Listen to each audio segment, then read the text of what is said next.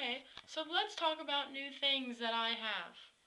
Okay, well, number one, I have these cool new piercings. Eee, no, no, no. Oh, I look off center. Anyway, maybe I'm just high. Snake bites, angel bites. Soon have double nose piercings here and there. And uh, everyone asks me the reason I have such big studs in for my angel bites. One, I like them better because they match my snake bites. And two, try shoving a um, one of those tiny little Monroe things through one of these and keeping it in because it like jiggles around and it's like loose and I don't know, it's weird on your mouth. So I took them out and uh, so I have these normal studs in. And I'm really about symmetry, like my whole face is going to be like pierced symmetrically. So, um, yeah, so what I'm going to do is I'm going to get my double, oh, right here, double nose piercings and I'm going to buy the same labrets and shove them through my nose.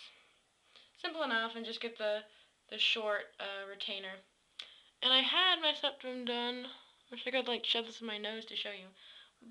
But I don't really want to do that. But I had my septum done, but some stupid kid who did this, look, see? See me right there? Okay. See, pretend this is another me. This, he was like, wait, close. He took my nose and he's like, punch! No, I'm just kidding. He like smacked me in the nose. He's like, is that real? No. I just have a freaking ring through my nose and it's not real. I just wear it because it hurts a lot and I enjoy the pain. No, just kidding, no. But yeah, septum, probably the most painful piercing you'll ever get. And then when some little kid comes and smacks you in the nose, um, you take well, I took it out. I just, I couldn't do it, no. Sorry, couldn't do it. So those are my new things. And I'm gauging my ears. I'm probably going to go to a zero. I had this one like a huge one in here before. I don't know if you guys remember, but that's another story for another time. So, okay, well, new piercings, new, oh, pretty hair. I bleached all my color out of my hair. Still don't know what color I'm going to bleach it, but, or, bleach it.